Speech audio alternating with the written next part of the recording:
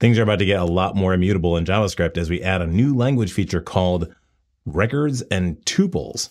Let's dig into it right now.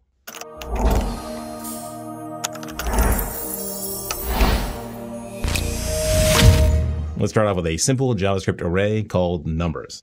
So the first thing I'm going to do is just console log this out. Now, can I change one of those numbers? For example, if I do numbers 1 equals 25, well, what are we going to get? Well, numbers is a const. So maybe we won't be allowed to do that. Let's try it out. Oops, actually, we can change it even though numbers is defined as a const, much to Ryan Florence's chagrin.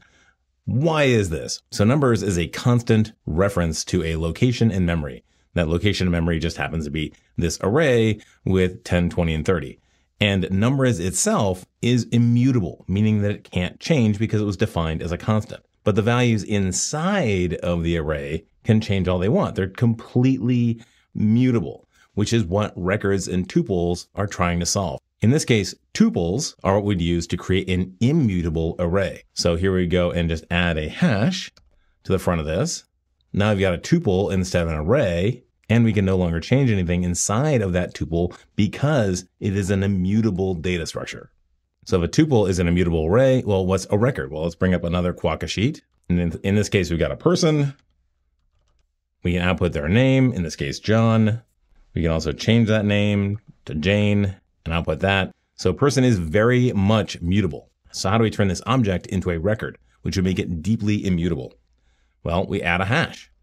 But that's not good enough because we've assigned an object to the name key and inside of a record, anything inside of there has to be either a record or a tuple. So now we can do this and now I've got a deeply immutable person record. And again, we can no longer change the person.name.first. If you're a fan of immutability or immer, records and tuples are going to be music to your ears.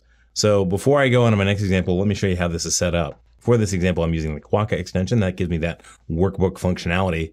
I've configured this Quokka extension to use Babel for its transpilation, and I've configured my Babel config to use the proposal record and tuple plugin, and to also import the polyfill automatically.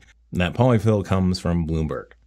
Of course, all of this setup is available to you for free in a GitHub link in the description right down below, but you will need to install Quokka. So how do we use this in a React context? Well, let's go and check out Vite React with tuples and records. This setup is, of course, also available to you. This is a standard Vite React app, but we've made some changes in here to tell the React plugin that we want Babel and we want it to go looking for the configuration. And that configuration is exactly what we had before in the previous example where we brought in that plugin and then imported that polyfill. So here's a very simple application. We've got a first name and a last name field up here. When I type in here, I'm supposed to see the update above, but nothing's actually happening.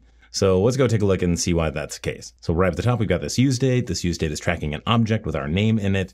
And then down here, we've got our input fields. And when we get our on change callback, we just set those values. That should work, right? But of course, no, that doesn't work, but we don't get any error. It just doesn't do anything. So what we really want to do here is do a set user with the existing user and then the override for the first. But let's keep that code in there. Just make sure this works. So does this work? Well, yeah, it does. Awesome. But wouldn't it be great if it actually blew up when somebody tried to do this? So in this case, it wouldn't work. It would actually just stop. So to do this, let's turn our user object into a user record. And then also when we update that user, we're going to go and also make that a record. Let's hit save. Now, I'm bringing up the console. If I try to type in there, we get an error that we are trying to assign a value to first, and it's immutable. So cool. All right, let's get rid of our buggy code and see that it still works. And now everything works just fine. I'm going to give you one additional variant though. Let's go create a custom hook that allows us to safely use objects. We'll call it use safe object and you give it an initial value. Then we track that value using a use state. Now value is mutable, so we're going to turn that into a value record. So we're going to take that value object and turn it into a record. And then we'll just return a new array that has that same signature of the value, in this case, a record and the setter. So now if I change this to use safe object, I can get rid of my record and also bring back my buggy code. All right, let's see this blow up. Boom. Okay, there we go. Can assign to first. And now let's get rid of my buggy code. And everything works just fine. So there you go, a nice custom hook for you that safely manages objects using records. And you can do exactly the same thing with tuples. Now I gotta say this is gonna throw me for a loop because use state, I've always referred to returning a tuple.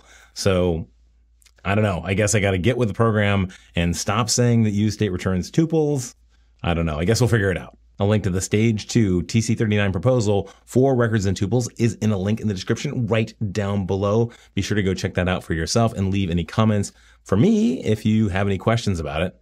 I'm going to be doing a bunch of these videos on TC39 proposals. So if there are ones that are interesting to you, be sure to leave those in the comment section down below as well. In the meantime, if you like this video, hit that like button. If you really like the video, hit the subscribe button and click on that bell and be notified the next time a new blue collar coder comes out.